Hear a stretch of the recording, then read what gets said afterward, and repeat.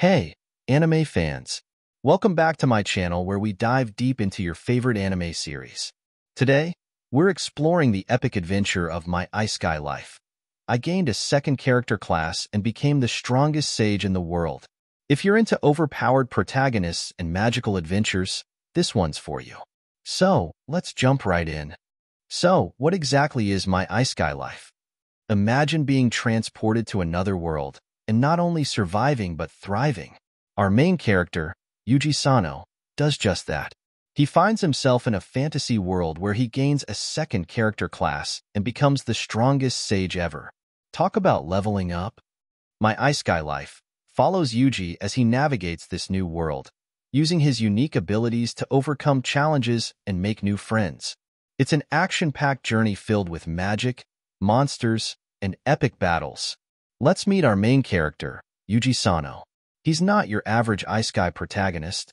With his dual classes, he can wield incredible magic and has unmatched combat skills. His journey from an ordinary salaryman to the strongest sage is both inspiring and entertaining. The action in My Isekai Life is top-notch. The battles are intense, and the animation brings the magic spells and combat scenes to life. If you're a fan of high-stakes action and fantasy, this anime delivers. But it's not just about the action. My Isekai Life also explores themes of self-discovery, friendship, and the importance of using one's power for good. It's a well-rounded series that offers more than just flashy battles.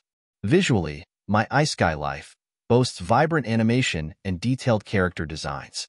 The fantasy world is beautifully crafted, making it easy to get lost in Yuji's adventures. Every scene is a visual treat, the soundtrack complements the epic nature of the series. From intense battle themes to emotional moments, the music enhances the overall experience, drawing you further into the story. Now, let's talk fan theories. Some fans speculate that Yuji's dual classes are a metaphor for balancing different aspects of one's identity. Others believe there are hidden connections between Yuji's new world and his old life. What do you think? Here are some fun facts. The anime is based on a popular light novel series written by Shinkou Shotou. It has a dedicated fan base and has been praised for its unique take on the isekai genre.